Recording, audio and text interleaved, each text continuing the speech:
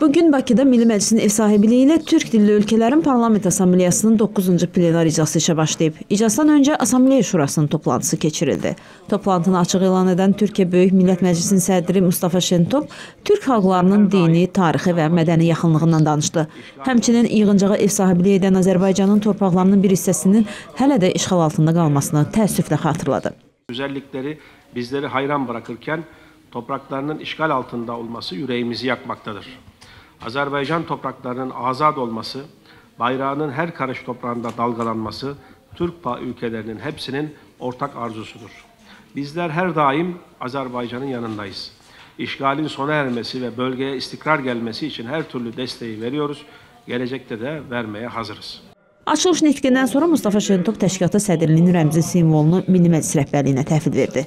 5-ci çağırış Milli Məclisin sədri Oqtay Əsədov sədrliyi qəbul edərək bildirdi ki, Azərbaycan tərəfi Türkvanın məqsədlərinin həyata keçirilməsi üçün bütün tədbirləri görəcək. Oqtay Əsədov qarşıdakı bir il ərzində Azərbaycanın Türkpayı sədrliyi dövründə həyata keçiriləcək işlərdən də danışdı. Ötən illərdə başlanmış bütün önəmli işlər öz davamını tapacaq, öz davamlı işini həyata keçirəcəkdir. Fəaliyyətimizin əsas istiqamətləri üzv ölkələrin milli qanunvericiliyinin yaxınlaşdırılması, model qanunların hazırlanması, komissiyaların fəaliyyətinin gücləndirilməsi, parlament aparatları arasında təcrübə maddəsi proqramlarının davam etdirilməsi təşkil edəcəkdir. Türkmenın beynəlxalq əlaqələrinin daha da inkişaf etdirilməsi önəmli fəaliyyət istiqamətlərindən biri olacaqdır. Qazaxıstan parlamentinin sədri Nurlan Niqmatullin bütün türk dünyasının hər nöqtəsində barış və ədalətin hökm sürməsi naminə işbirliyinin genişləndirilməsi üçün Türkbanın görə biləcəyi işlərdən danışdı.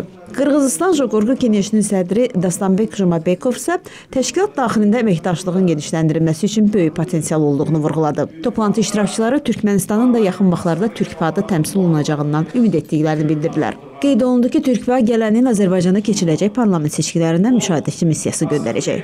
Müzakirələr zamanı Türkvanın 9-cu plenar iclasının gündəliyi də təsdiqləndi. Gündəliyə Türkba daimi komissiyalarının iclaslarının hesabat məruzələri və tövsiyə qərarları, model qanunların qəbulu, Qazaxstanda keçirilən növbədənkənar prezident seçkilərinə dair qurumun beynəlxalq müşahidəçi missiyasının hesabatı, eləcə də təşkilatın hüquqi sənədlərinin qəbulu daxildir. Plenar iclasının yekununda Bakı bəyannaməsi qəbul ediləcək. Pərəs Sabir qızı Cavid Qədirov, CBC.